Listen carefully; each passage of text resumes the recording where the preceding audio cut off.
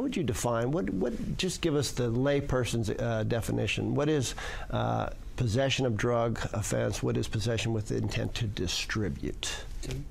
Well, possession of drugs uh, includes your obvious, uh, you know, your marijuana, heroin, cocaine, those things. But drug offenses also include prescription painkillers that people uh, that are possessing without a valid prescription. If you've taken pills or from a friend or um, and, and the law with drug crimes today also includes any uh, prescribed medication. If you're in possession of it and you don't have a valid prescription, you can be arrested and it's a felony offense. So if you have medicine prescribed to your mom or to your brother and they share it with you, you're in violation of the same drug laws. That's right, and people generally easily associate that with your narcotics, you know, your your pain medication. But it also applies to anything that's prescribed. If your mother has a prescription for poison ivy for an ointment, uh, and if you have that and you are not in, a, you don't have a valid prescription for it, that's a felony offense. It's called a violation. It's a legend drug, is what it's called, and that's against the law. It's also against the law for your mother to give it to you, but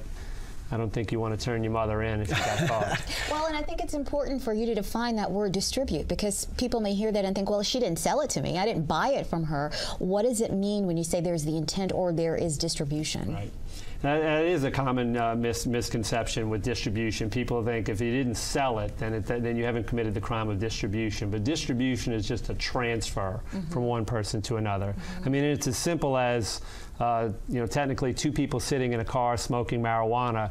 Each time one passes it from one to the other, and it's a transfer you've committed, he's committed the crime of distribution. Right. And when it's transferred back, that's another distribution. So just giving it to somebody, just transfer handing it over. from one transfer to another. From that's all a distribution is. Possession with intent to distribute means that they that you have an amount uh, that they determine is not intended for personal use, or and there's different factors that are going to go into that. Um, you, are talking about um, when they when they charge you with possession with intent to distribute. The factors that they're going to look at is the amount uh, packaging, whether it's packaged for sale, whether you have numerous small bags, whether there's scales involved in the arrest, uh, large sums of cash, small denominations, multiple cell phones, guns.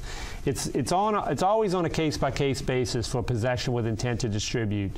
Um, but the, the gist of it is, is that it's an amount or uh, that's not consistent with personal use. And so